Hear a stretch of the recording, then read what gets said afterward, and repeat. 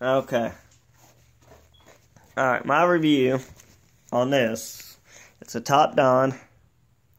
And it's a code scanner. Troubleshoot like electro like electronic parts on your vehicle. Um, uh, talk about autofocus.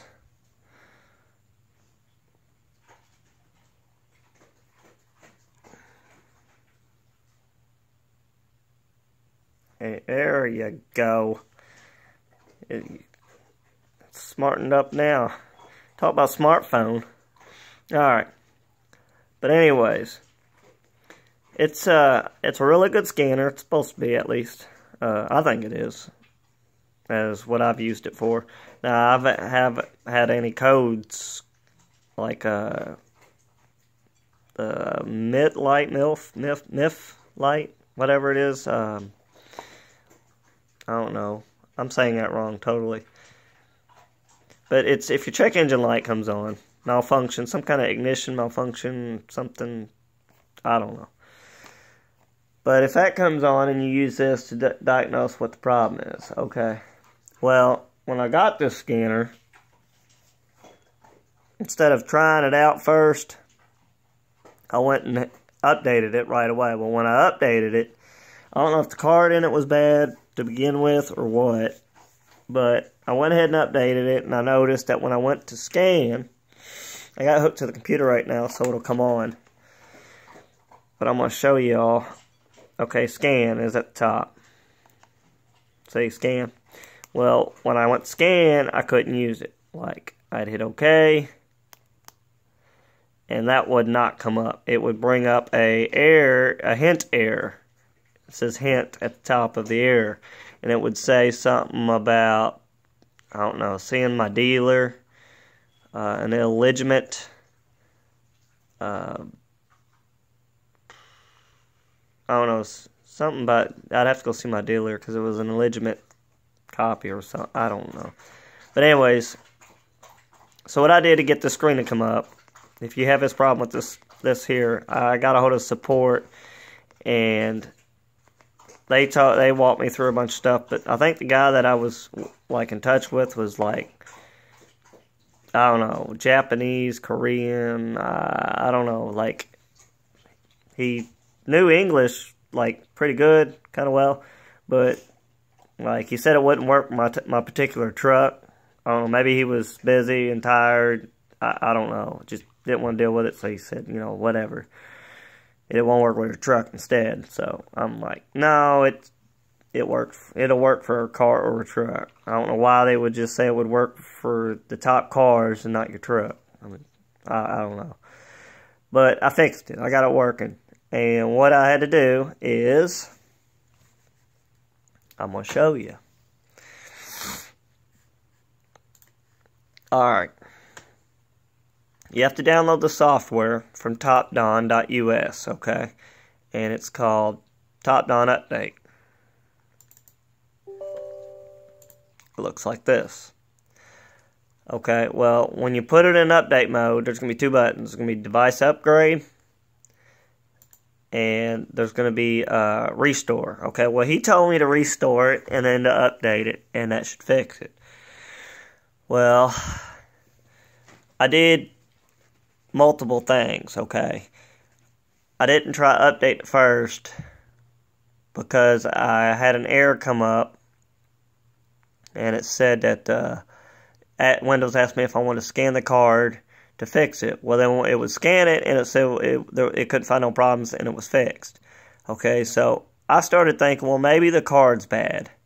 Maybe that's the whole problem why this thing ain't reading it. So I decided, you know what? I'm going to take the card out of it and turn it on, hook it up to the computer, make come on, and I'm to try to scan it, see if that's what it is. See if it's looking at the card for all the stuff. Well, when I did that, it said it couldn't read the card. I said, well, ha, it's got to be the card that's bad. I, I was to go out and buy a new card and update and all that, but instead I was like, you know what, before I do that, I'll just go ahead and reformat the card. Well, I didn't know it what it was formatted as NTFS or if it was formatted to FAT or FAT32. I didn't know, and it was too late. I'd already formatted it, so I could scan the card. Because uh, to check it for cluster errors or um, damaged packets or whatever. And so I had to format it. So I formatted it to NTFS. Okay, well, when I put all the stuff back on it, I didn't update it. All I did was I copied it and saved it to my hard drive, so that way it, it still took a while, but it actually I think would have been quicker just to download the updates and put it on the card. So, um, when I put it all on the card, it didn't work. Like, I tried to get the device to read it, and it, it wouldn't work. So I said, well, crap. That was a waste of time. So I got tired and I fell asleep and woke back up and I said, I'll try it again. So what I did is I formatted it to FAT32 this time. FAT32.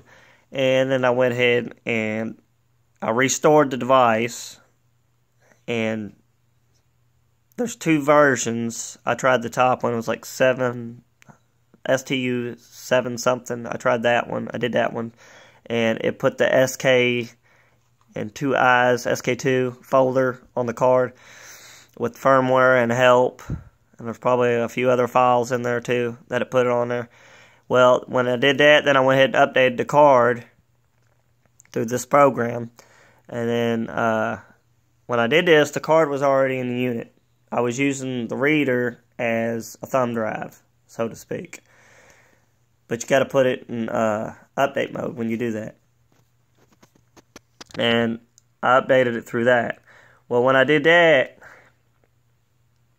then uh, I, I t- I, what I did is I went through down here to the control mod or uh, to the control panel, and I told it to eject it, you know, safely, and then it gave me the message that I could safely um, eject the module. So I went ahead and I unplugged it because you got to tell Windows first before you just go. I think that was my problem. I think when I updated it last time, I just yanked it out instead of telling it to, and it corrupted the the memory disk. So when it did that, I had to reformat to fix it, the the corrupted the corrupted disk or whatever. Well, now it works. Now I get I get to this part. So I haven't tried checking it in there yet because I don't have no faults or anything. And you can also clear the faults with this, and it'll, it'll that's why I needed this part here, not to clear the faults, but because this thing will also check your um, like if you have airbags or uh, ABS uh, lights on your dash that come on or anything, this thing will check it. And that's why I needed to get into this part was so I could select my Ford F-150 and all that to get to it. And what if you got a Ford, it's located, because they don't locate under Ford on this, it's located under USA Ford. Right here. That's where it's located. And then you hit diagnose and it'll go ahead and check your uh, truck for those problems. Um, but that's how you fix it. If you have that problem with the problem with this unit, if you buy this unit and you hook it up and you update it and you yank the cord out, not while it's updating, but after it's done updating, and this thing here tells you to go ahead and it'll give you a message to go ahead and uh, re reboot the unit. And the only way to reboot it is take unplug that cord right here from your laptop or from the unit, which is right here, and plug it back in. But when I did that, they it corrupted the drive, which it don't come with a manual. It does, but it don't. It's not very informal manual, and it don't tell you that you got to tell the OS first that it's safe to unplug the unit. So, I hope that helps somebody.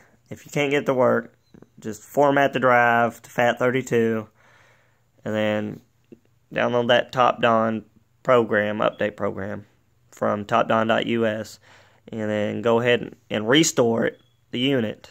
Uh, that's going to put all the original files back on it.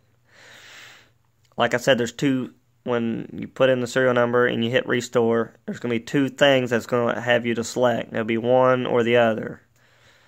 And I did the top one, which was, like I said, STU 7 something. I did that one. and that puts the original files back on the card that it came with. And then I went ahead and updated it. I told it to update, and uh, it, worked. It got me to through the scan feature, which got me to here. So again, I hope that works for y'all if you got this product here. Mine's the OBD Can Elite. They also have a plus version that just does the diagnosing of the codes. It don't it won't do airbags or ABS. But the Elite version does both.